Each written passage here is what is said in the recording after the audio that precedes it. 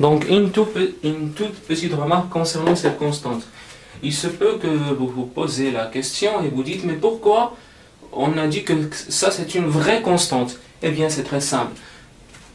Parce que cette constante qui peut dépendre de V, on a trouvé qu'elle peut dépendre de V. Et ne peut dépendre que d'une seule variable qui est V. Donc, C de V est égal à LMV, voilà, elle dépend de V plus une constante.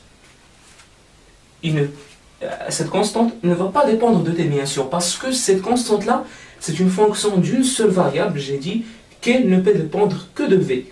Et, là, c'est LMV plus une constante. Ça ne peut pas être une constante qui peut dépendre de T. Non, c'est faux.